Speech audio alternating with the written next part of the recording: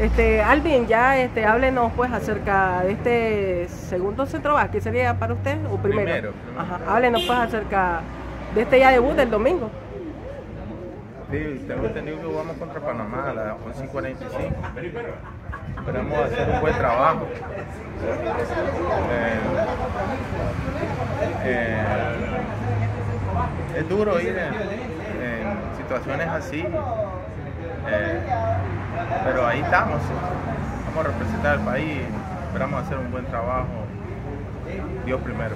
Celebró la química con la juventud con la que van, con los chavalos que van también por, por primera vez pues a esta competencia también. Sí, de cierta manera se lleva un buen potencial, llevamos un muchacho de 18, 19 años, creo, eh, allá afuera las cosas son diferentes.